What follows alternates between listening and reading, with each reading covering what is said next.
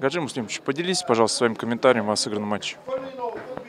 Ну, мы это выиграли, но я не могу сказать, что играли так, как хотелось бы.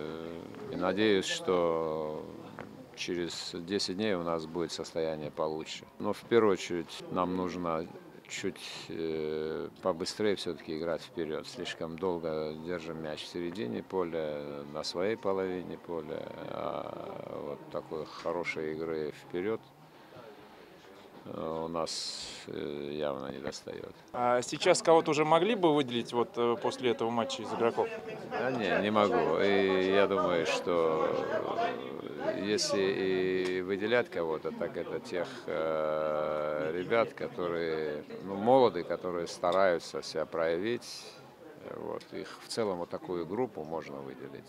Не одного, а целую группу молодых игроков, которые вышли и которые тренируются сейчас вместе с командой.